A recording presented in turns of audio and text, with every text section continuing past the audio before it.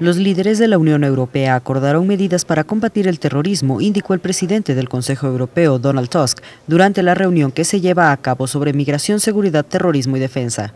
Los líderes de la Unión acordaron profundizar los esfuerzos contra los combatientes terroristas que han viajado a Siria e Irak para unirse a los grupos extremistas en la región.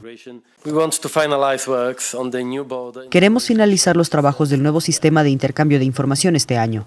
El Consejo Europeo también ha acordado la necesidad de cooperar estrechamente con la industria en línea. Hacemos un llamamiento a las empresas de redes sociales para que hagan lo necesario para evitar la propagación de material terrorista en Internet.